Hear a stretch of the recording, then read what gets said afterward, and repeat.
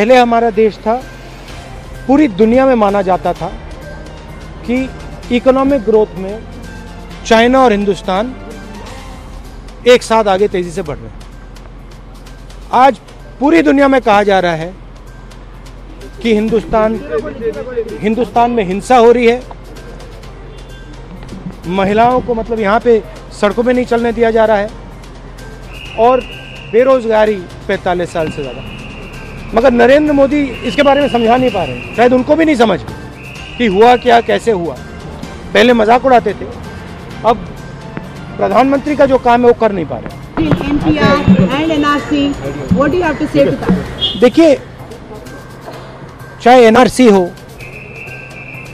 चाहे एनपीआर हो ये हिंदुस्तान के गरीब लोगों पर एक टैक्स है।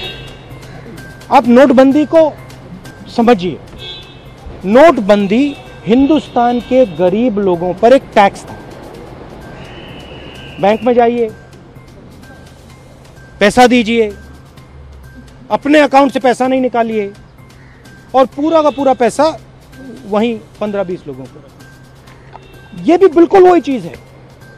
जाइए, अफसर के पास जाइए, गरीब आदमी जाएगा, अपने कागज़ दिखाइए, रिश्वत दीजिए, आपका नाम थोड़ा गलत है तो रिश्वत दीजिए करोड़ों करोड़ों रुपए हिंदुस्तान की गरीब जनता के जेब में से निकालकर उन्हीं पंद्रह लोगों के जेब में जाएँगे। ये है सच्चाई। worried I am I am i am saying that it is an attack on poor people. It is an गरीबों पे ये आक्रमण है। सीधी सी बात है। अब गरीब व्यक्ति पूछ रहा है कि भाई हमें रोज़गार कैसे मिलेगा?